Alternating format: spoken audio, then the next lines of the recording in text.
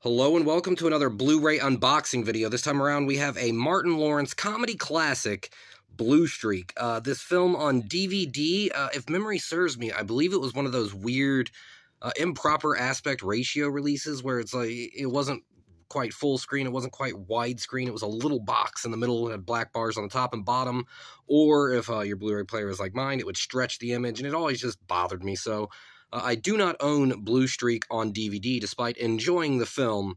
Uh, bad DVD release. Uh, I saw recently was on Blu-ray. Uh, apparently, it has been on Blu-ray since 2008, so it's been on Blu-ray for some time. This is the first time I was made aware of it. It dropped in price, and here we are. I had to go ahead and pick it up because it is the last Martin Lawrence film, uh, classic Martin Lawrence comedy that I needed to acquire. I've got uh, Black Knight, National Security, and now Blue Streak. I don't care about Big Mama's House and whatever other crap he's made.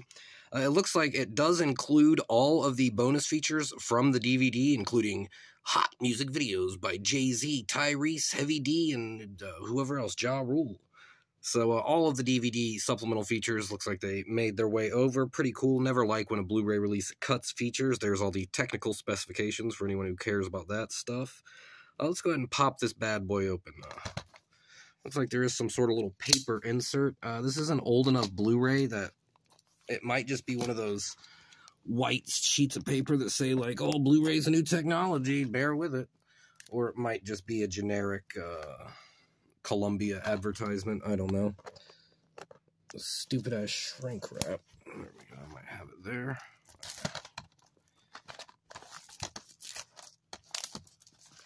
We get we get old Chappelle on the back of thumbnail. I didn't even see his ass. Chappelle, obviously, probably, probably the funniest scene in the movie. Uh, have you seen the film? You know what I'm talking about. Chappelle, pretty funny guy.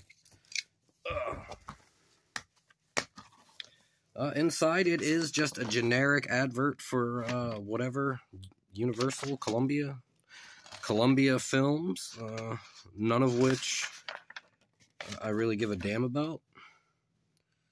I don't really care about any of those, but uh, inside, I did see uh, you get a picture of Martin Lawrence in the uh, possibly worst get up and joke in the film, as well as the disc featuring the exact same cover artwork, both uh, whatever. It's an image, uh, but there you have it: Blue Streak, Martin Lawrence, Blu-ray.